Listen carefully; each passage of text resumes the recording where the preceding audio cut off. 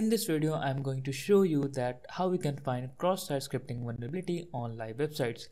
Before that, if you haven't checked out my previous video in which I have shown you that how we can find SQL injection and how we can escalate it further to perform account takeovers, then I recommend you to check that out and let's get started for this video. Before that, if you are new to our channel and if you haven't checked out our website yet, which is bepractical.tech, I recommend you to check that out. We have an awesome labs for web development as well as cybersecurity, where you can practice and improve your bug bounty skills as well as web development skills. So let's get started for this video. So actually there was a cross-site scripting scenario which I found it in one of the private programs, which was pretty much very different from what I have found it in other programs. Like there was some kind of web application firewall that was protecting that application but still i was able to uh, execute and cross-site scripting so that's what i'm going to show you in this video that how i was able to execute that xss so the website is now fixed therefore i have created a similar replication of that particular web application by using my coding skills. So i'm going to show you that. So as you can see here is the web application. So it was something similar to this. So don't judge because of this particular website because i have not added the web page but instead i'm just going to show you what i did in order to find xss so suppose this is the web application. This is a live web application where we have to pop an xss now to find first of all our goal is to find a input string that is reflecting in the web application right? So as you can see it is showing the type of string after uh, backward slash in the URL so I'm just going to do that. So for example I can type Batman. Uh, sorry sorry sorry. Just going to head back and Batman.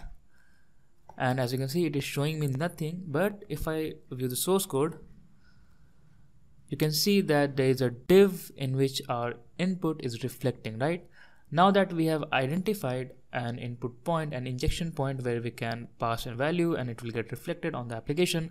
Now our second goal is to test dangerous characters. So if I pass a string of dangerous character like less than greater than, single quote and a double quote and let's see what happens. So as you can see, the web application blocked us. So right now we haven't yet provided the uh, payload, right? There is no JavaScript code in it, but still it is blocking me.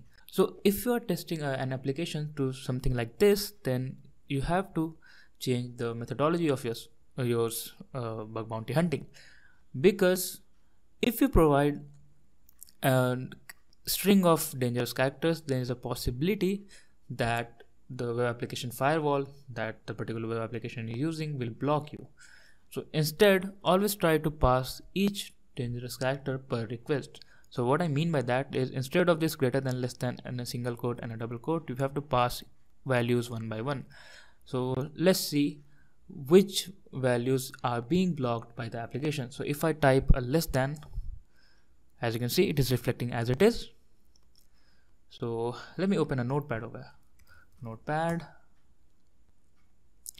So we know that this is allowed, right? Now let's see another value. So a greater than symbol. As you can see this symbol is getting blocked right? So this is getting blocked right? Let's test the codes like single quote and a double quote.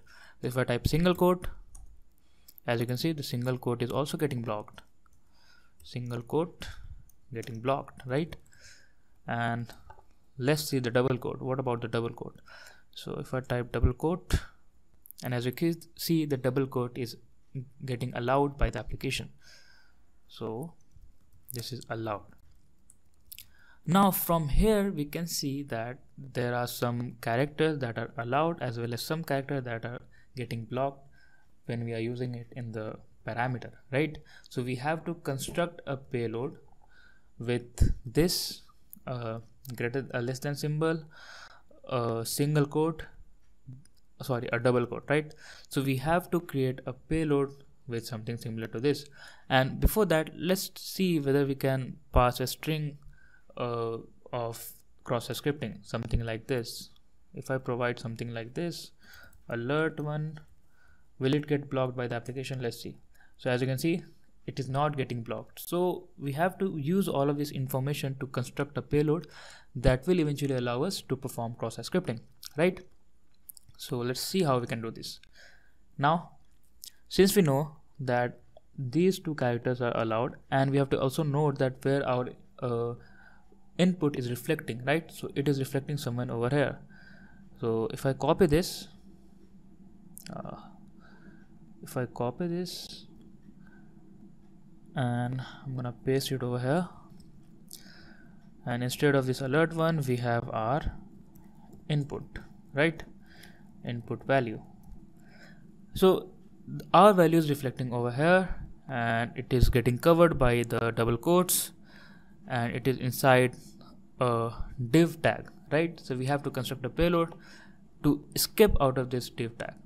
So if i talk in simple terms then we cannot uh, escape from this div tag particularly. It is because once whenever i try to uh, escape from this particular div tag it will block me because the web application is not allowing us to use this particular uh, character right? So but if you look closely then we can escape out of this uh, double quote right? Because it is com comparatively very easier for us. Because we can pass this double quote it will be allowed and we can pass something like this. So if my input if I provide something like this in the input so something like this for years and this. So if I provide this in my input so we know that this double quote is also allowed by the application as well as this uh, less than symbol right? So the reflection will be something like this. div menu id equals to Faiyaz and it will be something like this right? Because this double quote will get balanced by the double quote that we are providing right? So by using this method we can escape out of this menu id right? Now our goal is to perform cross-site scripting. So we can do cross-site scripting by using some event handlers like we have some different event handlers in javascript like on mouse over on click uh, click on load and many others so we can use one of these event handlers to uh, execute JavaScript basically. So if I type something like this in my input, let's say on mouse over alert one something like this. So instead of this Faiyaz, there will be on mouse over alert one, right? And when I hover over this particular div, it should alert one in the pop-up because of this event handler payload, right? So by this technique, we can execute cross-site scripting on this type of application. So let's test it. So let us try to test this and see whether we can get an alert or not. So if I provide this on mouse over alert one and let's hit enter. And as you can see we were successfully able to escape out of this double quotes. And now let me get rid of this view source.